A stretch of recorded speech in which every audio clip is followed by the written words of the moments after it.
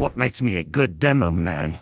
If I were a bad Demoman, I wouldn't be sitting here discussing with you now, would I?